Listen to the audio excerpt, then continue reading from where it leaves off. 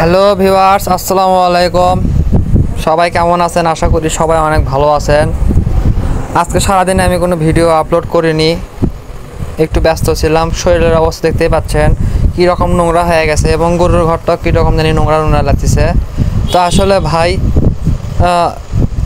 যখন বাইক ছিল নিজের, অনেক সুখী সুখী ভাবতাম নিজেকে। মনে করেন যে তেল তুলতাম আর ঘুরতাম। মানে ঘুরে বেড়াতাম, একটু মনে করেন গেটার পেটার নিতাম, মনে করেন অন্যরকম একটা ফিল আসতো। তো সেই বাইকটা বিক্রি করে যখন কিনলাম গরু, এখন নিজেকে কামলায় মনে হয়। কারণ দেখেন, এদের পিছনে আমার এত পরিমাণে সময় দেওয়া লাগে। এদের পিছনে সময় আবার ইউটিউবে ভিডিও আপলোড করার জন্য সেখানে সময় দিতে হয়। সব কিছু মিলাই এখন আমি একটা প্রকৃত কামলায় পরিণত হয়ে গেছি।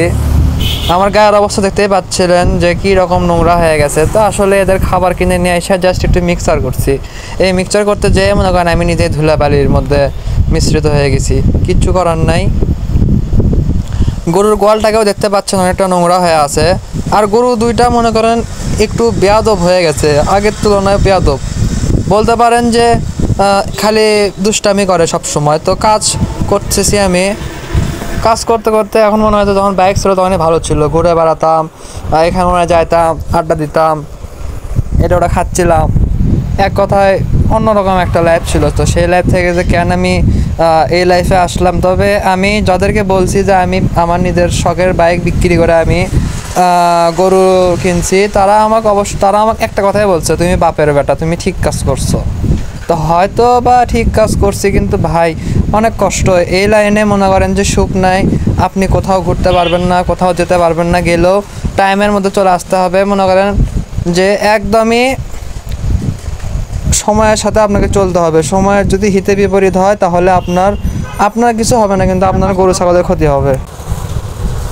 আর বিষয়টা হচ্ছে, আমি প্রান্তিক লেভেলের একজন খামারি। প্রান্তিক, নেহায়াতি অনেক ছোট একটা খামারি। যে খামারে এখন মাত্র দুইটা গরু অবস্থান করতে করতেছে। তো এই দুই গরুকে নিয়েই আমার একটা ছোট্ট সংসার। আমার কোনো বউটও নাই, আমার কোনো গার্লফ্রেন্ডও নাই। আমার কাছে এরাই সব কিছু এরা আমার পবিত্র ভালোবাসা, হালাল ভালোবাসা। আমার রাগ উঠলে আমি এদেরকেই গালি দেই। আমার রাগ উঠলে আমি এদের সাথে উল্টাপাল্টা শয়তানি করি। আবার যখন মন ভালো থাকে, তখন এদেরকে আদর করি। এক কথায় আমি এদের প্রতি আস্তে আস্তে আসক্ত হয়ে যাচ্ছি। আমি কিন্তু বলতেছি না যে আমি এদের প্রতি টোটালি আসক্ত। কারণ আমি এই সেক্টরে একদমই নতুন। আমার এই সেক্টরে আসার বয়স হলো মাত্র হয়তোবা কয়দিন পরে চার মাসে পা দিব। তো অর্থাৎ আমি যেহেতু এই সেক্টরে একজন নতুন একজন পালক, সেহেতু আমি এত সহজে মানে এত কিছু এত কিছু যে হবে আমি জানতামই না। যে গরু কিনলাম, গরু কেনার পর একটা ইউটিউব চ্যানেল খুললাম। সেই চ্যানেলে আবার রেগুলার ভিডিও আপলোড দিচ্ছি। আমার ইউটিউবে একটা মোটামুটি ফ্যামিলি হয়ে গেছে মানে আমার একটা ছোট্ট পরিবার ইউটিউবে বলতে পারেন তিনশো সরি নয়শো জনের মতন আমার মনে করেন যে ভাই ব্রাদার আছে ইউটিউব চ্যানেলে যারা আমার ভিডিও দেখে।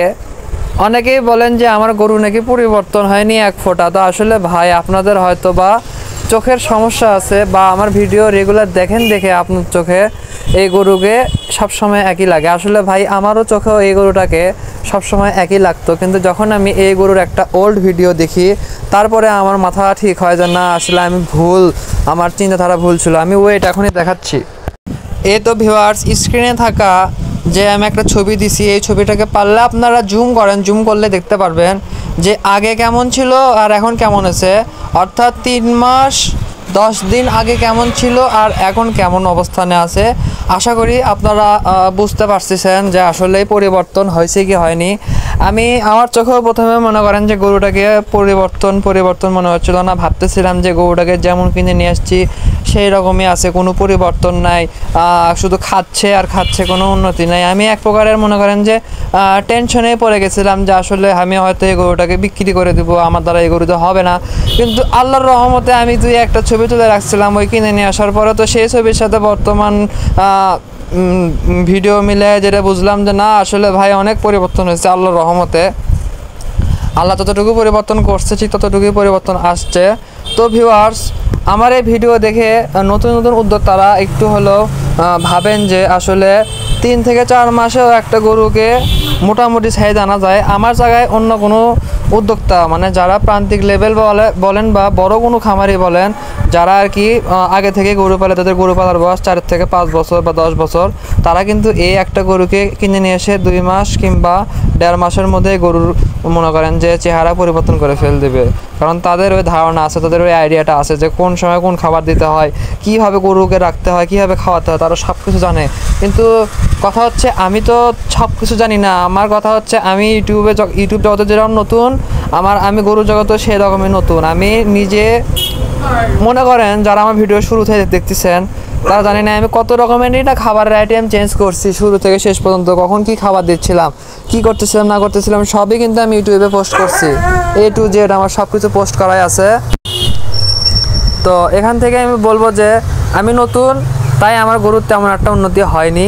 তবে আমি আশাবাদী, আমি আশা করি যে হয়তো বা তিন, চার মাস পরে আরও সুন্দর হবে আমার গরু। আর আমি বুক উঁচা করে বলতে পারি যে আমি এই গরুতে দুই টাকাও লাভ করতে পারব না, কিন্তু আমি যে টাকাটা খরচ করছি সেই টাকাটা আমি তুলতে পারব অবশ্যই। আর লাভ না করার মূল কারণটা হচ্ছে আমি গরুটা যখন ক্রয় করছিলাম, তখন আমি দশ হাজার টাকা বেশি দিয়ে ক্রয় করছিলাম। গরুটা যদি আমি তিরিশ হাজার টাকা ক্রয় করতে পারতাম, তিরিশ, বত্রিশ যদি ক্রয় করতে পারতাম, তাহলে আমি এই গরু থেকে অবশ্যই লাভ করতে পারতাম। কিন্তু আমি হয়তো শুরুতেই ভুল করছি, বড় বড় পালকরা একটা কথাই বলে, গরু বলেন আর যে কোনো জিনিসই বলেন, ব্যবসার ক্ষেত্রে কেনার সময় জিততে হবে। কেনার সময় যদি আপনি দুই টাকা কম দিয়ে কিনতে পারেন, তাহলে আপনি অবশ্যই দুই টাকা বেশি লাভ করে বিক্রি করতে পারবেন। আলহামদুলিল্লাহ অনেক অনেক ভালো থাকবেন। কিন্তু আমি যেহেতু প্রথম এই লাইনে, আমি মনে করি যে আমার লাইফের ফার্স্ট গরু এটা সো আমি লস করি, আর লাভ করি, সেটা বড় কথা না আমি যে শিখলাম, বুঝলাম, এটাই হলো বড় কথা। কিন্তু আমার আরেকটা গরু আছে লাল কালারের, যেটা বাসুর এর থেকেও ছোট সাইওয়াল ক্রস।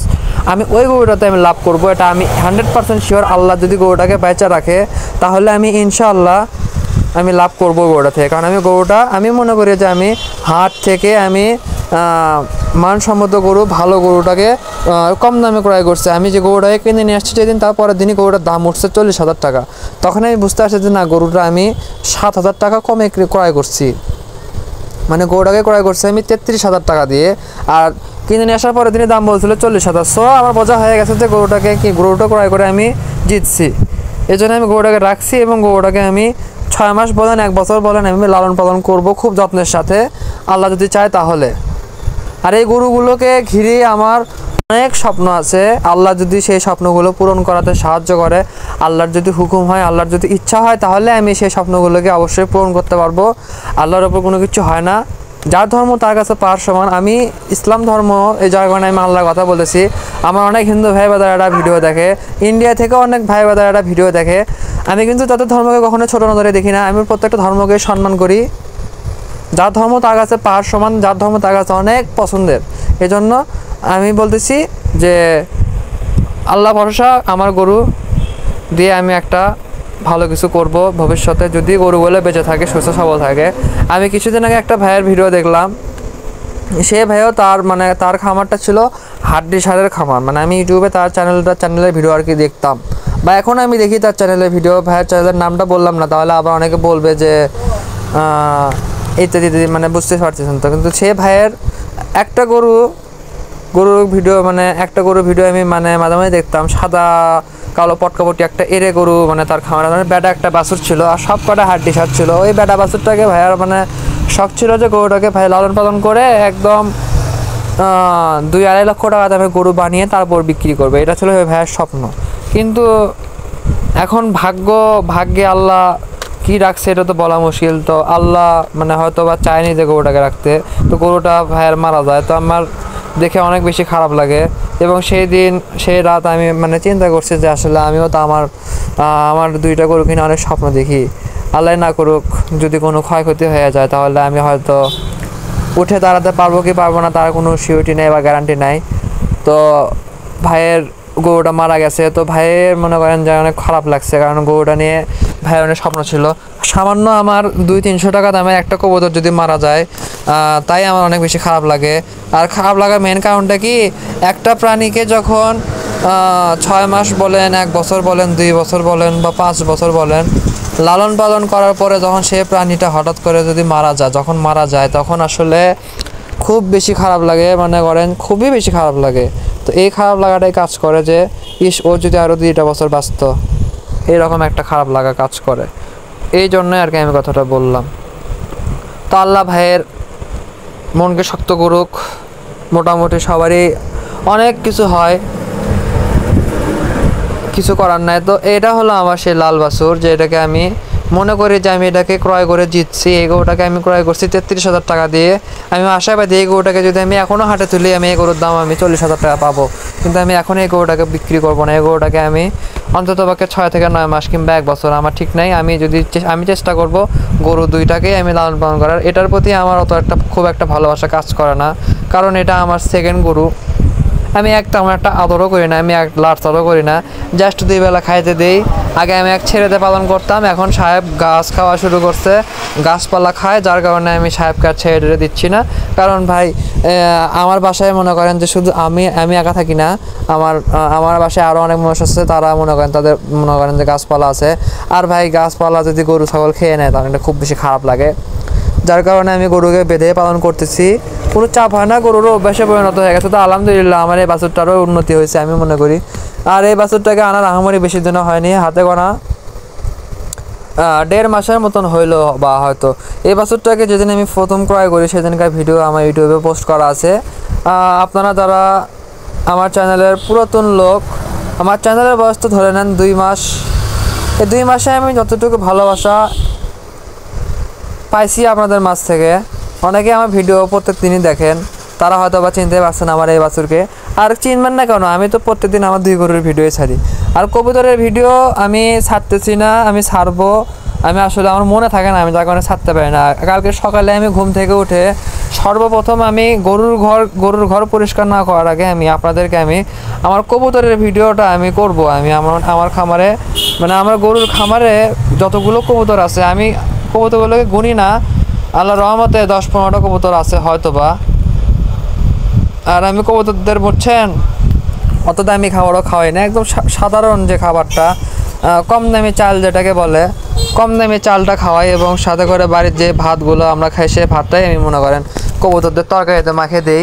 আহামরি কোনো ভিএপি স্টাইল আমি লালন পালন করি না। যাই হোক, আমি চেষ্টা করব আপনাদের মাঝে আমার কবুতরের ভিডিওগুলোকে দেখানোর। যারা আগ্রহী, যারা কবুতরের ভিডিও দেখতে চান, তারা আমাকে আমাকে এখনই কমেন্ট করেন। তাহলে কালকে আমি আপনাদেরকে মেনশন করে আমার ভিডিওটা আমি পোস্ট করব। আর আপনাদের নাম উল্লেখ করে আমি কথা বলব সেই ভিডিওতে, ইনশাআল্লাহ।